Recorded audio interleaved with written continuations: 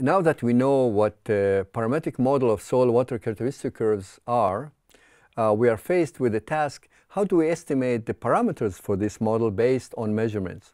As you can see in the figure here, we have about uh, eight or nine points that were measured with a lot of uh, work and sometimes with different methods. And we seek to estimate or to fit a curve to this data that will uh, give us the values of the parameter that will feed in into our uh, numerical model, for example. So we use readily available optimization program, for example, the one that found in Excel, but you can do it with MATLAB or other software, that will estimate the best set of parameters. So how do we do that? So in this uh, uh, uh snapshot from Excel, and I'll come back to the Excel itself in a minute, we first create uh, columns with the observations. So we have here uh, capillary pressure or matric potential in meters versus the uh, water content uh, values that were measured. So we have two, four, six, eight, nine pairs of data. To each of these data points, we make a prediction by the model. For example, I selected here the van Genuchten model. Uh, we feed or we uh, ask the model to read the parameters from this uh, green block here, and I just guess some values. You can see that the fit to the data is not very good. We then take the differences between the model predictions for this uh, given matric potential values and the uh, measurements um, uh, are summed up here. So the differences or deviations squared are summed up here.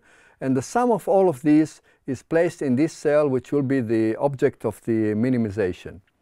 To, the minimization is run by a utility program available in Excel called the solver, in which you select the object of minimization, which is this sum of, uh, the sum of the deviates squared, by varying the parameters in this green block.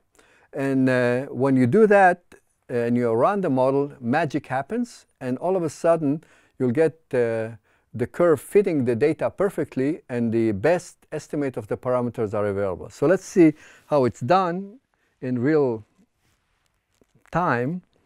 So let me launch the, uh, the Excel. So this is basically the slide that you've seen in the uh, PowerPoint.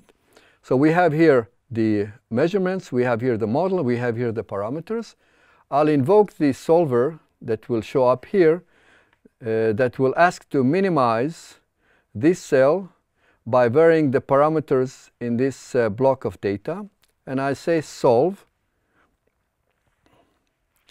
Of course, the solver immediately uh, finds the best data, and I can ask to, to save the, uh, the solution. So this will be the best parameters for the model.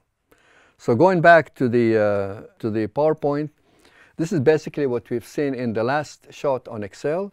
So to summarize, uh, we set parameters uh, or curve fitting as an optimization problem by minimizing deviations between the model and the uh, measurements through variations and systematic variation of the parameters, and that's the solver know how to do.